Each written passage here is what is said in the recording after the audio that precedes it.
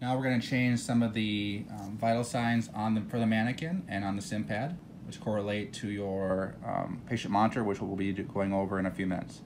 So if you want to change the heart rate, select the heart rate, and you can change the uh, numerical number every five by moving your finger up and down on the scale.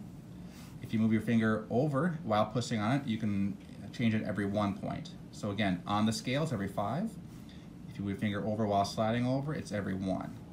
So today we're gonna change it to 62. Once you've done that, hit accept or activate. Now we're gonna change the respirations up to 30. Hit activate. We're gonna change the uh, heart rhythm to a, just for fun, let's just do um, a VTAC, which is gonna default our heart rate to a minimum of 120, which is fine. And we can change our end tidal to the same way. And then our blood pressure again the same way. Sliding scale for every five on the scale and you slide over every one point. So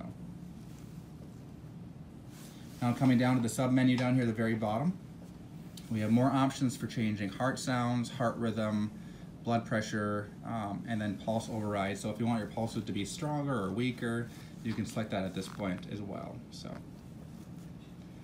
Other sub-menu, again, for um, lung sounds, for activating the potential pneumothorax, we can activate that to inflate left or right um, pneumo bladders.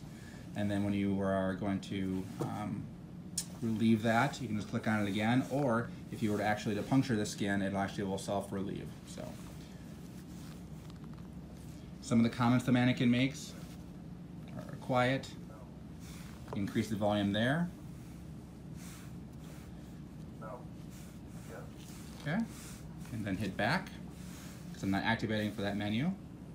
And then we have some more of the volume controls for this. Now something new with the newest platform that came out is that we can change the um, vital signs, even though I'm not hooked up right now, uh, layout in a different menu here, and I'm going to go over that in a few minutes. Right there. So now we can turn the vital signs layout on and off from this uh, point. So let me go over that one more time.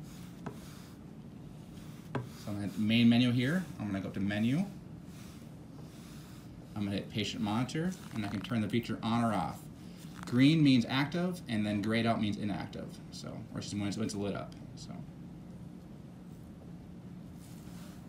And again, this is activating on the vital signs monitor.